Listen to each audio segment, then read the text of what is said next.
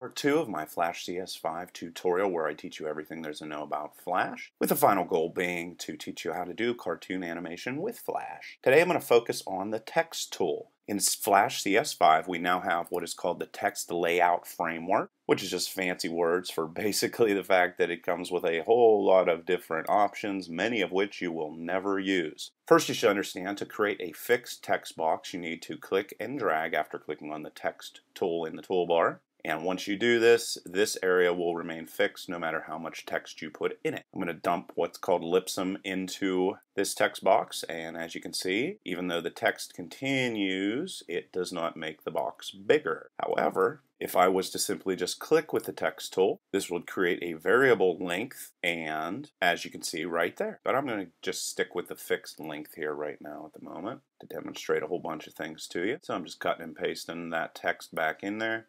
I'm going to go ahead and select all. And of course, you can define whether your text is going to be selectable, which means whether you want people to be able to copy and paste it, or have it be read-only, or have it be editable, and you would use editable if it was in a form. And with this little guy here, you'd be able to define the orientation being either horizontal or vertical. I can show you exactly how that would play out. Here you would define any fonts that you would want to use, and if you scroll way up to the top, you can see right here what are called device fonts, and these would be used if you want to guarantee that your font's going to look the same everywhere that you would use it. But you could also guarantee that by using the embed tool. Now, if you would want to embed this font, meaning you want to guarantee that this font is going to be seen exactly the same on every computer, you would click on that embed button and you have the option to be able to actually literally embed every single possible character. You would almost never do this, you don't want to do this because it will dramatically bloat the size of your flash files. So what you need to understand is if you mainly use uppercase and lowercase letters, well then just choose uppercase and lowercase letters. If you mainly use uppercase and lowercase letters and numerals, just click on that. As well, you can go and add punctuation, but you almost never want to use all because what this will do is it'll draw a vector version of every single character, and that's going to make your flash files extremely large. But that is how you would be able to embed them. And then obviously you can increase your size just by clicking and dragging right here until it's the perfect size for you. Leading refers to the distance between lines. So this is kind of a font tutorial as well. And tracking plays with the distance between characters. It's all the only difference that you have right there. Kerning you're almost always going to leave as auto kern and that's actually a reference to tracking that is font specific. Hopefully, hopefully that makes sense for you. You can also choose the color that you wish to use. And under anti-aliasing, you can see here, use device fonts. You would use that if you want to make sure it shows up nicely on every single different type of device, even mobile devices. If the readability of the text is of the most important versus the overall ability to animate the text, you're going to have to make that decision on your own. What's more important, animation or readability? Normally readability is going to be the choice, so I'll just leave it right there. Rotation will also rotate your letters in a different way. This is also another tool that you'll almost never use.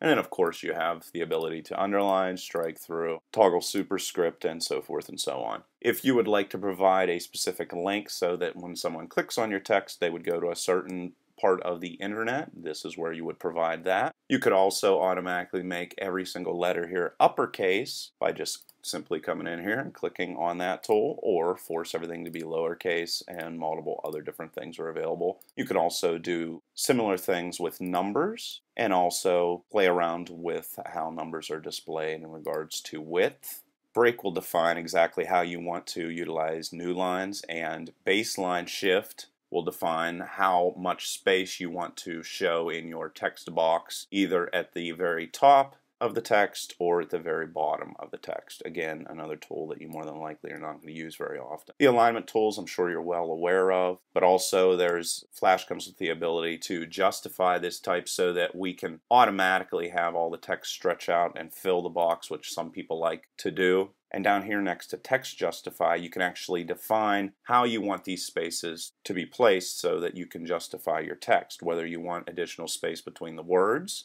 or you want additional space between each letter. By default, most people are going to use word spacing. And whenever you do do this justification, you want to define exactly how you want the last line in your text box to be justified. So you can see right here, if we come in and justify left, or we can have the last line centered, and that's all this guy does is pretty much defines exactly what to do with the last line that you have in your text box. I'm just going to undo out of this until we get back to where we were. And I'm also going to change my font to something that's a little bit easier on the eyes. There you go. You can also define margins, and I'm sure you understand that. And you can go left or right in those margins.